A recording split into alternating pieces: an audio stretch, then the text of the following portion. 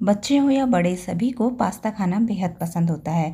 तो आज मैं आपके साथ शेयर कर रही हूँ एकदम hotel restaurant style pink sauce pasta बनाने की रेसिपी तो पिंक सॉस पास्ता बनाने के लिए सबसे पहले हम पास्ता को उबालेंगे। तो यहाँ एक बर्तन में तीन गिलास पानी मैंने गर्म करने रख दिया, जिसमें आधा चम्मच नमक डाल दिया है और एक चम्मच हम इसमें ऑयल डाल रहे हैं। ऑयल डालने से क्या होता है कि पास्ता चिपकता नहीं है।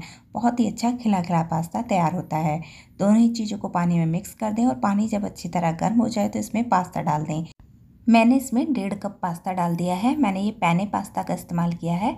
अच्छे तरीके से एक बार इस तरह हिला दें और अब इसे आप उबलने दें। मीडियम हाई फ्लेम पर इसमें उबाल आने दें। पास्ता को उबलने में बहुत ज़्यादा टाइम नहीं लगता है। आठ से दस मिनट के अंदर ये अच्छी तरह उबल कर तैयार हो जाता है। बीच बीच में एक आध बार इस तरीके से आप इसे चला दें। ये जो पास्ता है, इसे आपको 80 परसेंट ही उबालना है, क्योंकि बाद में ये सॉस के साथ भी पकेगा तो ये एकदम परफेक्ट हो जाएगा। तो यहाँ पर ये देखिए, जो पास्ता है, इसे उबलते हुए आठ से दस मिनट हो चुके हैं। ये देखिए, ये साइज़ में बड़ा हो गया है, काफ़ी अच्छे से तैयार हो गया है। तो बस अब मैं गैस का फ्लेम ऑफ़ कर दूँगी और इस पास्ता को मैं एक छलनी में निकाल लूँगी। तो यहाँ पर ये जो पास्ता है, इसे हम पानी से अलग कर लेते हैं। छलनी में मैं इसे निकाल रही हूँ। और तुरंत ही अब आपको इस पास्ता के ऊपर ठंडा पानी डाल देना है ताकि इसका कुकिंग प्रोसेस रुक जाए और बहुत ही बढ़िया खिला खिला पास्ता हमारा बनके तैयार हो।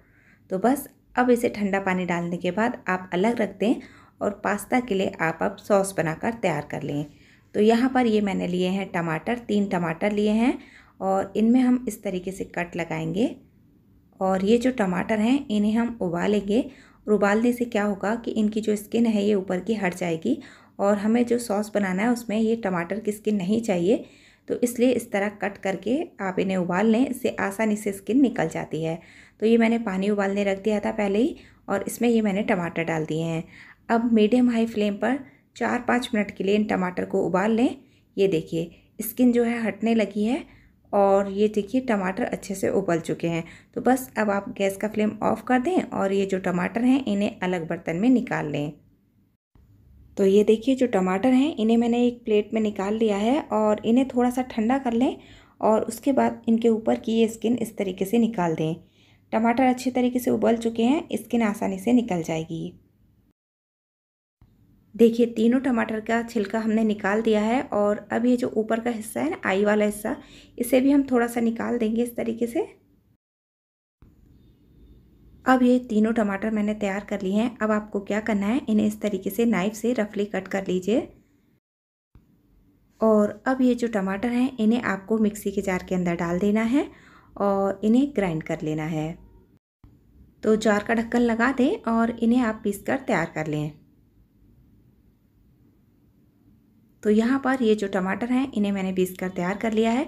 तो चलिए, इन्हें हम साइड में रख देते हैं और अब हम पहले वाइट सॉस बनाएँगे। तो पैन में मैंने एक चम्मच बटर डाल दिया है। बटर को हल्का सा पिघलने देते हैं। गैस का फ्लेम मैंने यहाँ पर लो रखा है और अब मैं इसमें डालूँगी मैदा। मैंने इसमें दो चम्मच मैदा डाल दिया है और मैदा को आपको लो फ्लेम पर रोस्ट करना है।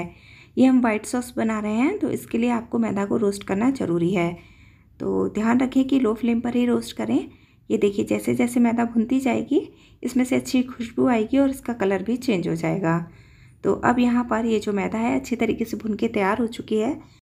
मैदा में से अच्छी खुशबू आ रही है, ये भुन चुकी है तो मैं इसमें डाल रही हूँ एक गिलास दूध। ये जो दूध है, वो आपको या तो फ्रिज का एकदम ठंडा दूध लेना है या फिर रूम टेम्परेचर पर दूध हो, इस बात का ध्यान रखें। गर्म दूध इसमें बिल्कुल नहीं डालना है, अगर आप गर्म दूध डालेंगे तो इसमें गुठलियाँ बन जाएँगी। दूध डालते ही इसे अच्छे तरीके से मिक्स कर लें हम इसे एकदम क्रीमी और थोड़ा थिक टेक्सचर होने तक पकाएँगे। और अभी मैंने इसमें डाल दिया है एक चम्मच ऑरिगेनो और आधा चम्मच मैंने इसमें डाल दिया चिली फ्लेक्स आप इसमें आधा चम्मच मिक्स हर्ब का इस्तेमाल भी कर सकते हैं। सारी चीज़ों को अच्छे तरीके से आपको मिक्स कर लेना है। मीडियम फ्लेम पर आपको इसे कुक करना है। बहुत ही जल्दी ये थिक होने लग जाएगा। अब मैं इसमें डाल रही हूँ एक चौथाई चम्मच नमक। एक चौथाई छोटा चम्मच इसमें काली मिर्च का पाउडर भी डालें। मैंने इसमें काली मिर्च का पाउडर भी डाला है, लेकिन वो जो पार्ट है, वो शूट नहीं हो पाया है, वो स्किप हो गया है तो आप इसमें काली मिर्च डाल दें और अच्छी तरीके से इसे मिक्स कर लें। और अब ये देखिए, ये काफ़ी गाढ़ा हो गया है तो इसकी कंसिस्टेंसी को चेक करने के लिए आप क्या करें, एक स्पून लें और इसमें कोट करें। और फिर इसे हल्का सा ठंडा करके इसमें इस तरीके से एक लाइन ड्रॉ करें और ये देखिए ये देखिए, लाइन बिल्कुल भी ख़राब नहीं हो रही है, ऐसे ही बनी हुई है। इसका मतलब ये कुक हो चुका है तो बस गैस का फ्लेम ऑफ़ करके इसे अलग रख कर आप ढक दें। और अब हम आगे की तैयारी करते हैं। तो गैस पर मैंने एक पैन रखा है और इसमें मैंने एक चम्मच बटर डाल दिया है। साथ ही हम इसमें डाल देंगे एक चम्मच ऑयल। और अब आप ये जो बटर है, इसे हल्का सा मेल्ट होने दें। और अब हम इसमें डालेंगे लहसुन।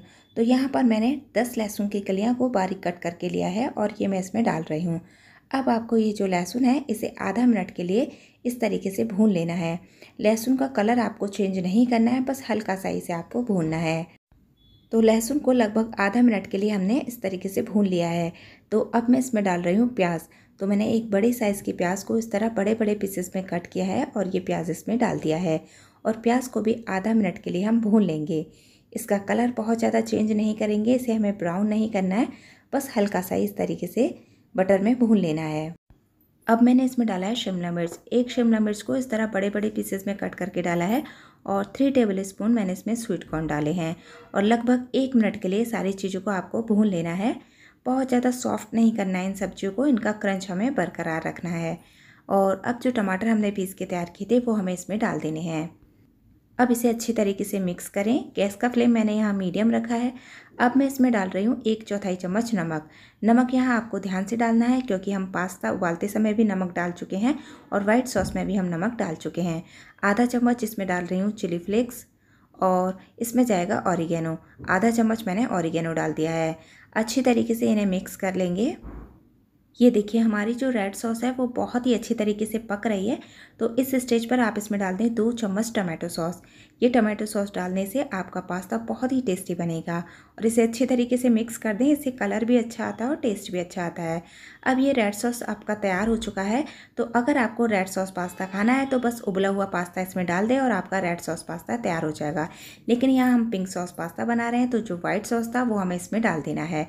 और वाइट सॉस और रेड सॉस जब मिक्स होगा तो आपका बन जाएगा पिंक सॉस इसीलिए इसे बोला जाता है पिंक सॉस पास्ता तो यहाँ पर हमने रेड सॉस और वाइट सॉस को मिक्स कर लिया है और बस इसे अच्छे तरीके से मिक्स कर लेंगे और अब इसे मिक्स करने के बाद जो पास्ता हमने उबाल के रखा था वो हम इसमें डाल देंगे. ये पास्ता डाल दें और अच्छे तरीके से इसे मिक्स करें.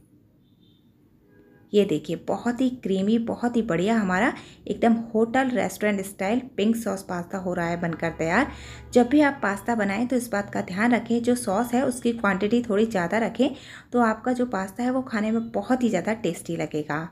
तो यहाँ पर अच्छे से मिक्स करने के बाद लगभग डेढ़ दो मिनट के लिए से आपको ऐसे ही सॉस के साथ कुक कर लेना है। अब ये जो पास्ता है, इसे बहुत ही क्रीमी और टेस्टी बनाने के लिए मैं इसमें डाल रही हूँ चीज़ अगर आप चीज़ नहीं डालना चाहते तो चीज़ को स्किप कर सकते हैं बट इससे ये जो पास्ता है, इसका टेस्ट बहुत ही ज़्यादा बढ़ जाएगा। अच्छी तरह इसे मिक्स कर लें और अब ये पास्ता हो चुका है बनकर तैयार तो बस गैस का फ्लेम ऑफ़ करें और बस एक बात का ध्यान रखें कि ये जो पिंक सॉस पास्ता है, इसे गर्मा गर्म सर्व करें, क्योंकि इसका असली मज़ा इसे गर्मा गर्म खाने में ही है। अब ऊपर से आप थोड़ा सा चिली फ्लेक्स और ऑरिगेनो डालें। अगर आपको ये पिंक सॉस पास्ता पसंद आया तो वीडियो को लाइक कमेंट और शेयर करें चैनल को सब्सक्राइब करें बेलाइकन को प्रेस करें।